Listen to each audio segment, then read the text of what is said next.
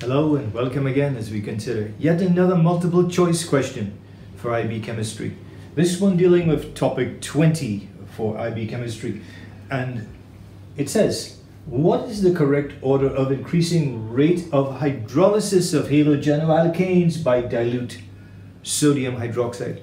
So this then is looking at substitution by a nucleophile. It's the SN1 and SN2 reactions. This particular set of answers are all written out as condensed organic formulas and writing them out as a full structural formula is not a requirement. What's needed to solve this question is an understanding of Markovnikov's rule and an understanding of leaving groups, particularly with reference to the halogens and particularly with reference to chlorine and bromine. Now here you're looking at SN1 reactions. And SN1 reactions happen when there is the capacity for a carbocation to be formed that's stabilized by an inductive effect. So when you have three CH3s all pushing electrons towards the central carbon here in the structure, then you could have a positive charge actually existing here for a while.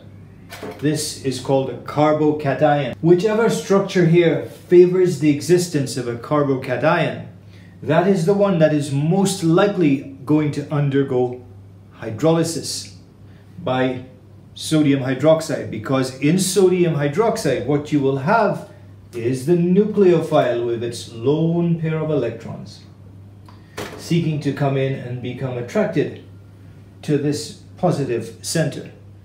And to have a nucleophilic substitution, of course, as the halogen group exits, and that halogen group could be Br minus, or it could be Cl minus.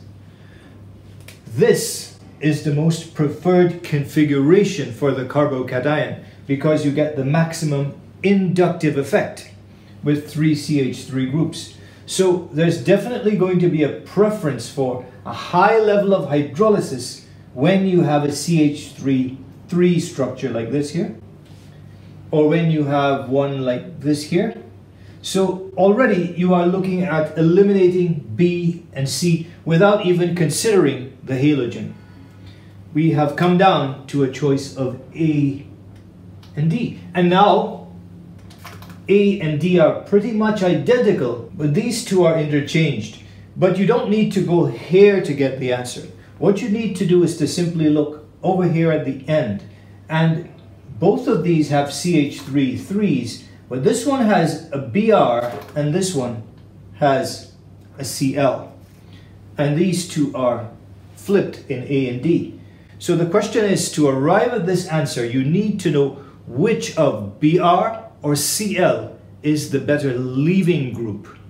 And one quick way to know which is the better leaving group with the halogens is that the ease with which a group leaves increases as you go down from fluorine to chlorine to bromine to iodine. And the reason that this happens is because the strength of the base gets weaker as you go down and the tendency for the Br minus or for the I minus to be stable when it leaves increases. But a simple way to solve these kinds of questions is to simply remember that as you go down group 7, the ease of leaving increases. And the higher up you are in group 7, the more difficult it is for the group to leave. So therefore the answer to this question then would be that BR leaves in preference to CL, so that would give you an answer of A.